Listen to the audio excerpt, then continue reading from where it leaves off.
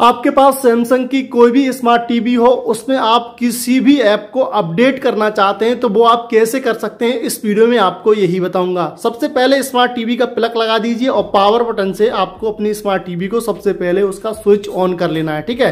तो चलिए इसे हम ऑन कर लेते हैं। ये देख सकते हैं, हमारी जो स्मार्ट टीवी है, उसका स्विच है, वो ऑन हो रहा है, ठीक है? तो इस तरीके से उसका स्विच ऑन हो जाएगा। स्विच ऑन होने के बाद आपको इसमें जो बटन है, यानी कि जो आपका रिमोट है, उसमें जो बटन है, आपको यहाँ पे होम बटन प्रेस करना है। ये देख सकते हैं होम बटन यहाँ पे है तो मैंने होम बटन दबा दिया।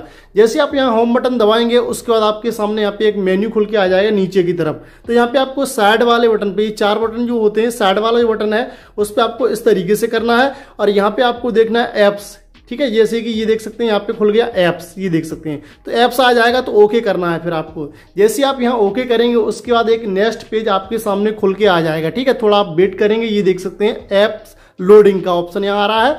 अब यहाँ पे एप्स लोडिंग यानी कि एक तरीके का प्ले स्टोर होता है सैमसंग का वो खुल के आपके सामने आ जाएगा, ठीक है? उसके बाद यहाँ पे आपको मेन काम करना होता है। जैसे कि आपका इंटरनेट जितना फास्ट होगा तभी आपका ये वर्क करेगा, ठीक है? ध्यान रखना है इंटरनेट को कनेक्ट करके ये काम करना है। अब यहाँ पे आपको जो रिमोट लेना है रिमोट आपको ऊपर वाला बटन दबाना ठीक है? इस तरीके से। तो यहाँ पे आपको लेके आना है, ये देख सकते हैं यहाँ पे सेटिंग का जो आइकन है इसके पास, ये देख सकते हैं। तो यहाँ सेटिंग के आइकन के पास लेके आएँगे, बीच वाला बटन आप दबाएँगे, ठीक है? जैसे आप बीच वाला बटन दबाएँगे, फिर आपके सामने एक नया पेज खुल के आएगा, ठीक है? जैसे कि इस तरीके का।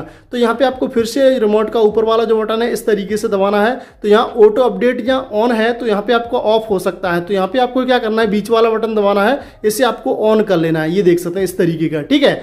इस तरीके से। आप ये कर लेंगे, फिर आपको कोई भी एप्लीकेशन अपडेट करने की ज़रूरत नहीं पड़ेगी ऑटोमेटिक हो जाएगा जैसे आप इंटरनेट को कनेक्ट करेंगे, ठीक है? यहाँ पे। अब आप किसी एक पर्टिकुलर ऐप को अपडेट करना चाहते हैं तो आपको उसी ऐप पे क्या करना है? नीचे लेके आना है, ये लाइनिंग जो लाइनिंग आपको दिख रही है, ये वाली। ये यहाँ पे आ जाएगी लाइनिंग इस तरीके से जैसे मैं आपको दिखाता हूँ, मैं इधर लेके आता हूँ इस लाइनिंग को, जैसे मैं जियो सिनेमा को अपडेट करना चाहता हूँ, मैं आ गया हूँ।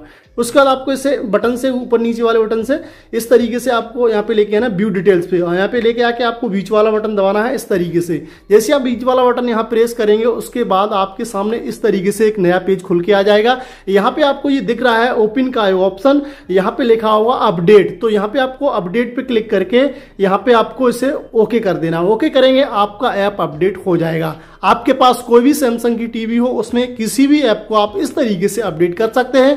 फ़िलहाल मैं इस वीडियो में लेता हूँ, बता, ये वीडियो आपको कैसी लगी कमेंट पे हमें ज़रूर बताइए। जय हिंद।